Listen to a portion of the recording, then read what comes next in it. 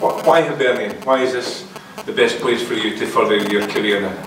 Yeah, to be honest, um, for me, I just want to play football. And then um, for from the back of last season, I didn't play a lot. And then Hibs want to give me opportunity to actually improve myself and then further my career. So for me, I just it's just about the games and to get minutes in my legs. That's that's what is important for me now. So, so tell us about your career so far.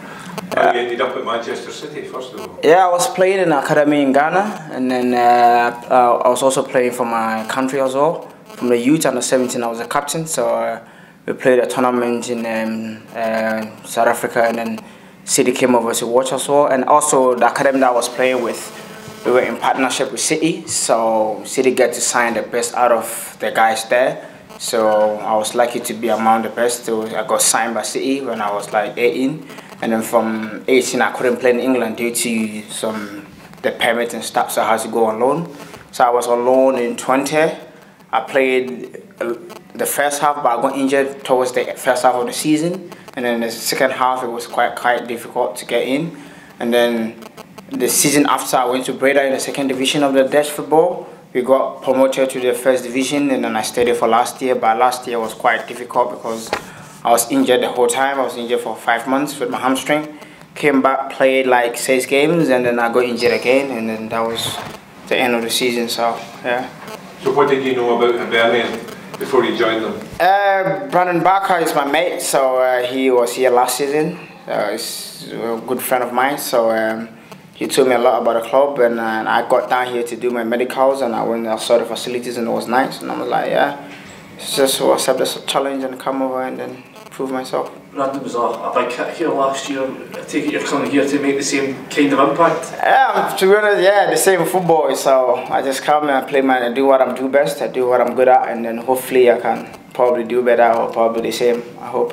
Is that, is, looking at how well he did, was that a big part of the attraction? You, you've seen a friend of yours come here and play well, you think, well, I can come and match him? For, to be honest, it's true because like when you want to go to a place and somebody have been there, you speak to the person and see how things are, and then I got positive stuff from him. Actually, he actually loved it, and then he even told me he wanted to come back at some point if he had a chance. So I was like, okay, wow, he's my good friend of mine, and if he's staying that, then I might as well come and then prove myself. Is it anybody else that's played in Scotland that you might have spoke to for either back home or, or City? No, not really. I know Efe from um, back in uh, Celtic days when he was Celtic. I was there for a few few weeks, but I know him, but I didn't spoke to him. But obviously Brandon was at City and I was with him at City, so it was easy for him to for me to chat with him rather than Efe, so he was the only person I chat with. What was your Celtic link? Were you there on, on trial? Or? Yeah, I was there on trial. I was there to see if I could go there on loan, but obviously I got injured, so it couldn't happen, so I had to go back to City. When was that?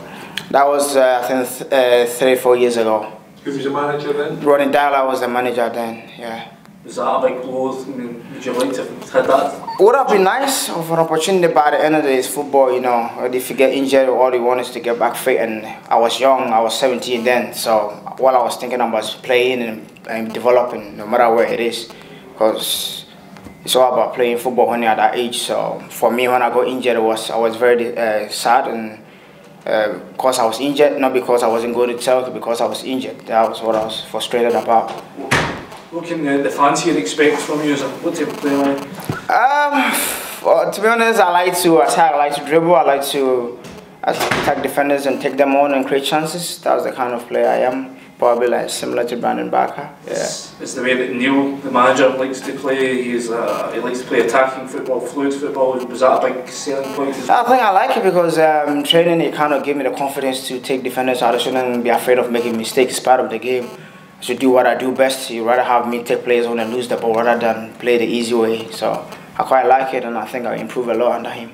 Was Umar Sadiq? Did you did you play with, with him last year in Holland? Now Rangers, Umar. Yeah, Umar, Umar Sadiq, I was with him in uh, NAC Breda. Yeah, actually came for the second half of the season. He was my good pal, and then. Uh, even we were talking when I said I, he, I, when he signed with Rangers and he was like, yeah, bro, you should come down here as well. I'm like, no, I'm going to Hibs and here I'm like, yeah, you meet each other and he's like, yeah, no problem. I'm in Glasgow. I'm in Underbrand. He's like, you'll come over. Maybe if you have time to chill with me and stuff. So we even speak sometimes and yeah. What are your long-term goals here at Hibernian? Is it just to play games and then go back to City and try and force your way to the first team? No, of course there's objective for the club and then I want to be part of it, not just to come here and play games. I'm here to win, I'm here to do well, I'm here to actually do better than what uh, the club did last year. Uh, I'm not here just to play games, I'm here to win, I'm here to actually take the club to another level. It's not only about myself, it's only about the club as well because they are given an opportunity.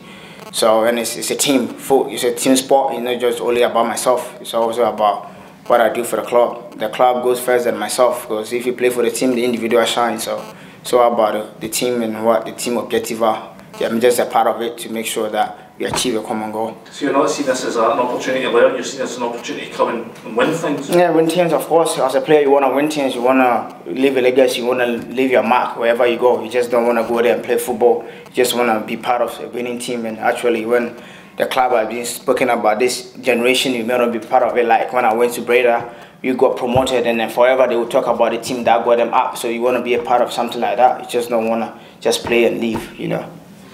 Do you see yourself potentially in the future as a first team player for Manchester City? Yeah, of course, you never know. Sometimes you gotta go away and then come back like Pop Pogba did. Sometimes it's very difficult. At the moment, it's very, very difficult to get in, but maybe it's better you go away, develop, and then finally come back. So it's always a dream to play for City because actually they gave me an opportunity. So it will be a dream to actually break into the first team. But at the moment, it's difficult. But maybe, maybe I have to go away and then come back. Maybe this season, if I do great, I can get an opportunity to go back. There's been a few Manchester City players come to Scotland recently. Patrick Roberts was another one. He was at Celtic. Yeah. He's now gone. I think to, to Italy. I think. Uh, no, to Spain. Spain. Spain yeah. Um, do you look at these players and think, okay, I can see that as part of the development? Yeah, of course. Uh, now, football, if you're doing well, and no matter, no matter where you're playing, if you're doing well, you get noticed. And he's done well, and here I just want to do well, and then probably, yeah, get the next step in my career. How difficult is it to break into that Manchester City squad, the first team? It's you know so many big, huge, yeah. stellar names. Yeah.